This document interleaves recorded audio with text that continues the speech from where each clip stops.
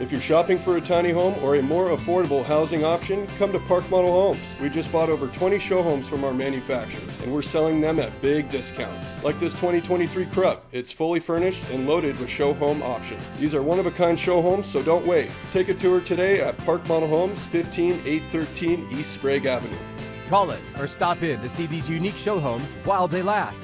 Park Model Homes, living large in a tiny home.